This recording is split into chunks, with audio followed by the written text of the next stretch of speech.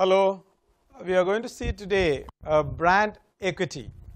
We would see brand today and brand equity, brand promise and few models on brand. Now brand is something we always talk about. Uh, you have this brand and that brand. Now what do you mean by brand and how does it matter to a consumer and how does it matter to a marketer? Let's see from the marketer's point of view as well as from the consumer point of view. Well, what is brand? You know, we buy n number of products in our life, uh, be it a luxurious product, luxury product or some basic product, uh, at times we seek for a particular brand and then we go and buy that particular brand. Now, why? Uh, this question uh, begs an answer from the marketer's point of view. If you as a consumer seek a product, a brand, a specific brand and you buy that brand, I must say the marketer of that particular brand would be very happy because he has created brand loyalty from as a consumer you are a loyal consumer for his brand. Now let us look at what is brand. Now see here what is written brand is a name, term, sign, symbol or design or combination of them intended to identify goods or services of one seller or group of sellers to differentiate them from those of competitors. Now you uh, you are in need of a bulb, you have plenty of options in front of you, but if you buy Philips, then that Philip brand is successfully embedded in your mind and this is something good for the manufacturer and the promoter of Philip brand product. Now see what is written here a name, a term, a sign or a symbol or a design or a combination of them intended to identify the goods and services of one seller. In this example, we have a bulb manufacturer, he has given a brand and you as a consumer, you sought that particular brand. Now, how does it matter to a marketer? Well, that is a good question. Now, a marketer can command premium for a brand if consumer is seeking that particular brand. I am giving you one more example. See you want to fly from one place to the other place, let us say you want to fly from Mumbai to Singapore. Now when you are flying to Mumbai to Singapore, you have got different options. Now you can fly in an ordinary airline let us say X airline, you would pay certain amount. For example, let us say you pay 20,000 rupees. Now, if you want to fly in Singapore Airline, for example, Singapore Airline is a brand name and it has some amount of some amount of luxury attached to this, some amount of image attached to this and some amount of differential services attached to it. Therefore, you are willing to pay extra premium. Now, as a marketer, if I can command a premium from my brand, then I am successful. So, it is very important to create a brand that commands premium. Now, to ask for a premium, it is very important from the marketer point of view to ensure my brand remains in the mind of consumers. Now, come back to this particular example that I illustrated. You want to fly from Mumbai to Singapore. You have X brand which is which is unknown and that is commanding 20,000 rupees. At the same time, Singapore Airlines much higher priced, but still nevertheless you are paying that extra premium because of that particular brand. So, if you see here brand is a name, term, sign or symbol or even design or combination of them. Now, I have given this beautiful picture here. This is drawn by famous artist Muhammad Hussain. Now, Hussain himself is a brand. He is one of the world leading artists and look at this, this wonderful painting wherein you could see his signature that signifies his brand. Now, look at the examples here. Everything has a brand. Now, Sachin Tendulkar, is he a brand? Yes, he is a brand. Now, if somebody else comes and advertise in place of Sachin Tendulkar, I am sure the marketer is not going to pay the premium to uh, uh, some extra, I mean, some ordinary person. Now, same thing goes to Amitabh Bachchan. Amitabh Bachchan, right, he comes for a lot of brands and he promotes this brand. Why? Because he has got a lot of followers. Now, same thing goes for, you know, I mean, uh, many other uh, products, even places, for example. There are states, they, uh, they sell their uh, state as a brand. Goa is one example. Rajasthan could be another example. Kerala could be another example. So, these all brand. Then comes to different products. You have got Tata's, Lux as a brand for soap and you have bank and stores if you look at it. There are Big Bazaar, Shoppers Stop and Lifestyle. Now, if you look at equity, we, we are moving from brand to equity. Now, brand I said it could be a term, it could be a sign, it could be a combination of many things together to distinguish from one seller to the other seller. Now, what do you mean by brand equity? See, brand equity is the added value endowed on products and services. It may be reflected in the way consumers think, feel, act with respect to the brand as well as in the prices, market share, profitability the brand commands. So, brand equity, the moment you know you talk about brand equity, like let us say for example, water. You have mineral water available in different brands, but you do not mind paying let us say few hundred more for a bottle of 1 liter uh, because that particular brand commands premium, it has added some amount of value on its product. Like for example, you have got Aquafina as a mineral water and Evian as another mineral water. And this Evian is supposed to be a, I mean, a brand to reckon with and that commands premium. Now, brand equity in this particular example, it has added value, this Evian, the name, the brand added value on its product and therefore, the consumer feels and think that this particular product has some amount of value I mean added to this and it is worth paying that extra money. Now, what do you mean by brand promise?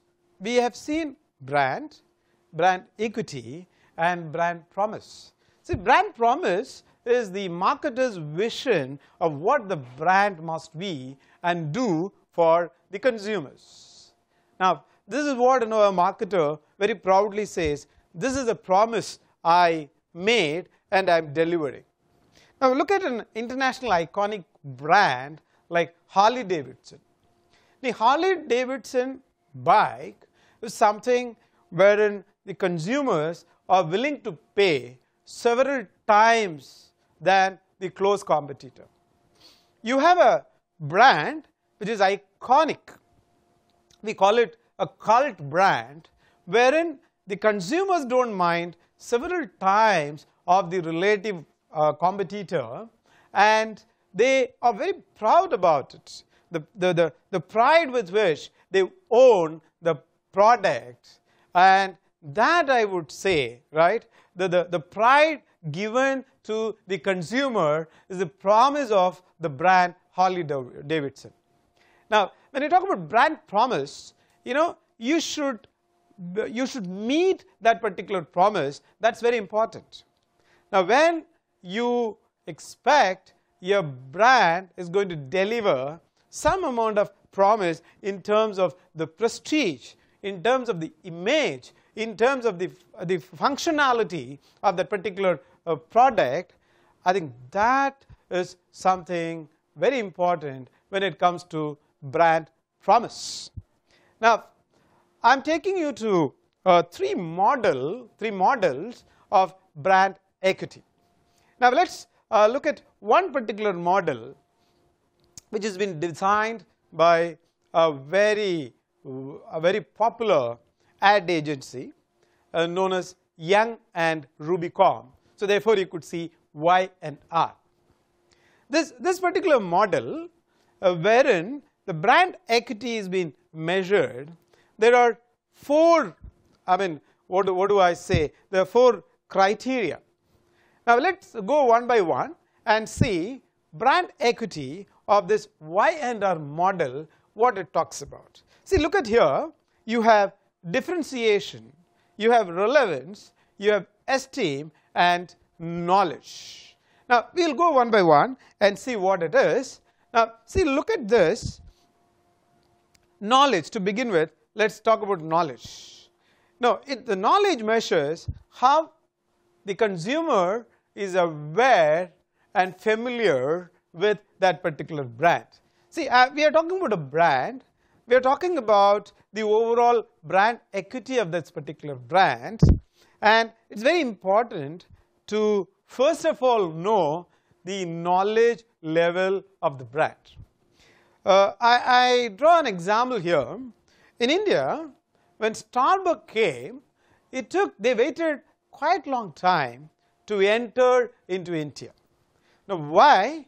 Because they thought this particular market was not matured enough to enter for quite some time and after that Starbucks entered in Indian coffee market.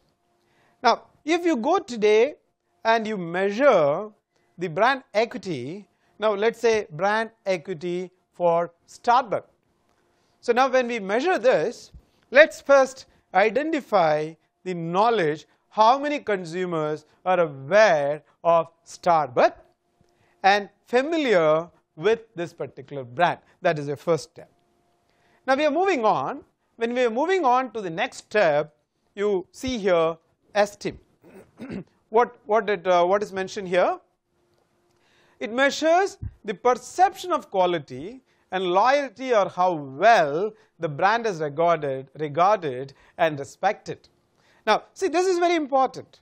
Now, see the perception of the consumers and I mean their loyalty towards that particular brand and how well the brand is regarded and respected. So, that means the first level yes I know the brand right and what is my perception with regards to uh, Starbucks.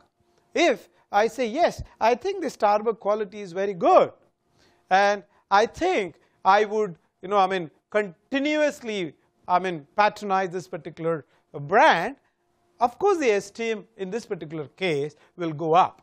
So, we have seen two things one is knowledge the other one is esteem. Now, let us look at relevance. See the relevance measures the appropriateness and breadth of brand appeal. In this particular case am I the right consumer and does it appeal to me that is again an important thing because brand there are several brands across the globe across the market they may be I mean, there spread out, but does it right matter to me? That's very important. So here, this relevance uh, measures the appropriateness and breadth of brand appeal. Now comes to the next, the, the, the top of the pyramid differentiation, we call it energy differentiation. It measures the degree to which a brand is seen as different from others and its perceived momentum and leadership. In the sense, does it have a leadership position? Now you take Starbucks, right? Do you think Starbucks is much better than Cafe Day? Now, we may not directly compare these two brands. Now, because in Indian context, if you look at it, Starbucks may not have an immediate competitor, but just for the sake of it, you know, I mean, just to compare with, you know, the next competitor. Now, I'm sure in Indian market, this particular brand Starbucks would be seen definitely different and it would be seen, it would be perceived as a leader in this particular category.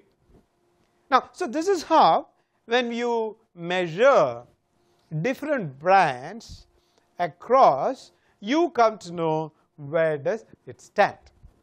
So this is about Y and R brand equity model. Now let's move on to the next model. This is known as BrandZ. See, I mean, what is written? The BrandZ is the world's largest brand equity database containing data I mean on brands gathered from interviews of 150,000 people. Now there is a pyramid you could see and if you look at the pyramids there are five levels one the percent and the second one irrelevance performance advantage and bonding. You know it is you know I mean it, it makes it's a very very logical step from one to the other Number one, does it present when you do a survey of this particular I mean uh, brand. Now, you need to measure the presence of that particular brand in the mind of the consumer. That's very important. You know, when you when I measure a particular brand, I need to know the presence of this particular brand in the minds of consumers and does it is it relevant? Does it make any sense to me as a consumer? Because if it doesn't relevant to me, that brand has no value at all. So when I say a brand does matter to me, that means there is a relevance. And then comes performance. well, I know the brand is available, I think that it is relevant and of course I know I consumed or I use this particular brand and how is the performance? Is it good? Is it bad? It is great or it is superb? Now the performance again you know when you are measuring that gives an idea where does it stand in the minds of the consumers as compared to the competitors on certain functionality.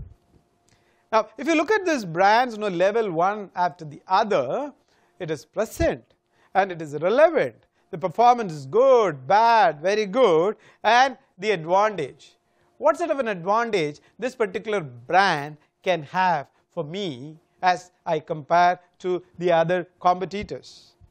Now, if it is advantageous, certainly the loyalty is more and we move on to the next one, there is a bonding. Now, have you not heard there are many instances where consumers will wait if their brand is not available? Have you not seen many instances where consumers say, have been using this brand for several years consistency, consistently because it delivers promise. This is where you remember I said brand promise. So, if a person is patronizing a product or a service year after year consistently, that means that particular brand has delivered. So, that brand promise and delivery brings bonding. I hope you are getting an idea now how this model is building the brand equity. Now let's move on to the next item. Now this is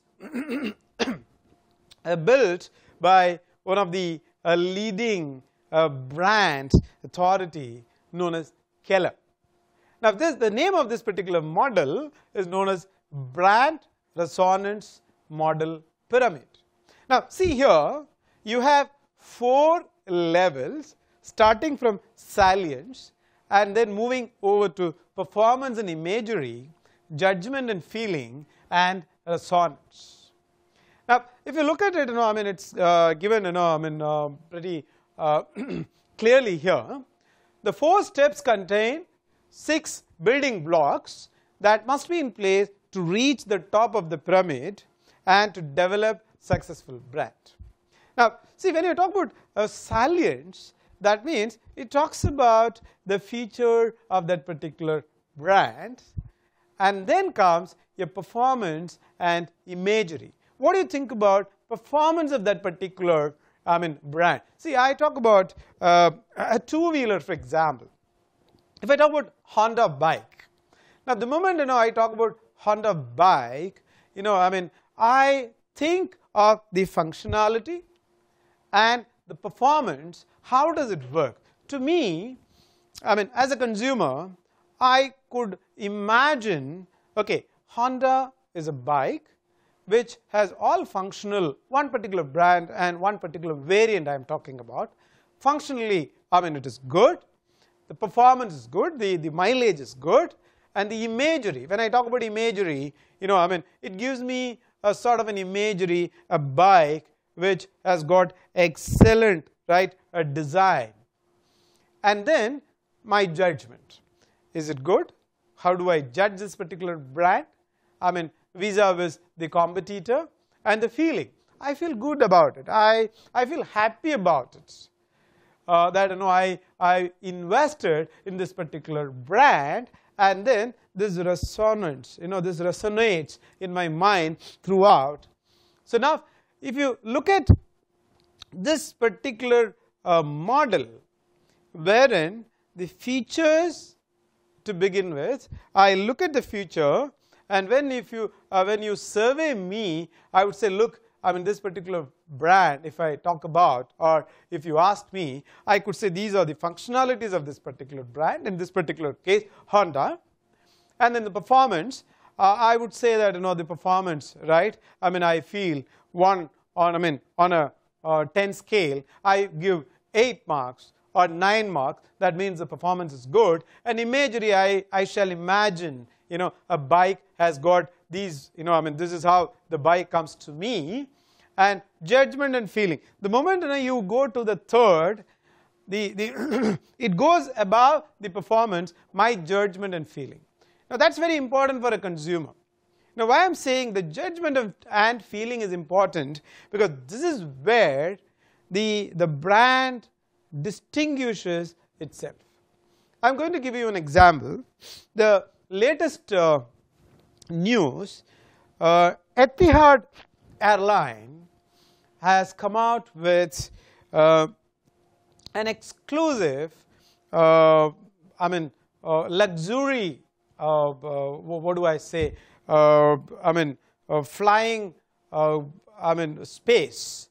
They are introducing from December onwards I would say you know I mean it, it is much better much much better than the business class. they are offering for two consumers you can book as a package. It comes with a, a bedroom I mean this is going to be introduced in A380 uh, I mean uh, Boeing. Uh, it comes with the bedroom and you two of you can avail from Abu Dhabi to Los Angeles. And uh, you have a valet service a butler butler sorry a butler who is going to who is going to be there with you from Abu Dhabi to Los Angeles. And you are expected to pay $32,000 a lot of money. And you know there is a great demand for this particular class moving you know to fly from Abu Dhabi to Los Angeles paying 32,000. Now why? Because this particular airline Etihad and they you know I mean they have a brand equity where I think the, the functionality anyway I think you know some of the best aircraft, best people and on time and look at the performance, imagery and judgment and feeling. Now if somebody can commit $32,000 that too I mean 6 months hence to fly from one country to the other that speaks about the brand. So this is very important you know I mean when you when you are building a brand equity that brand equity is something that gives you that extra premium which I was talking about. Now there are five things quickly you know I want to run uh, building a brand equity and measuring brand equity and managing brand equity, devising a brand strategy and customer equity. See, I was just running through in my, you know, I mean, in this particular session, you know, I mean, the need of brand equity, what is brand equity, and then measuring brand equity, some of the models which we have gone through, and managing brand equity. I think this is again a very essential part of a marketer. If you have a brand which is already successful in the market, you have to manage that particular brand equity because unless you manage consistently, I mean your brand value will go down. So you always suppose you have, you have a leadership position in a particular brand, you have to manage it successfully. And then you have to come with you know I mean a lot of strategies to devise a brand strategy. For example, you know you are new in the markets and you want to do, I mean devise, you need to devise a brand strategy to build that particular brand. What is customer equity? See customer equity, why after all, why you come out with the brand, why you build a brand and why you, you sustain that particular brand equity because you need a bottom line. See you have a brand that is being sold in the market and if you have a better brand that gives you premium. Now when your brand gives you premium, you get revenue and your bottom line in the sense your profit is better, isn't it? So there is always a link between your top line, bottom line and the overall performance. So is it a challenge to maintain brand equity? Is it a challenge to I mean build brand equity? It is a challenge to devise a brand strategy.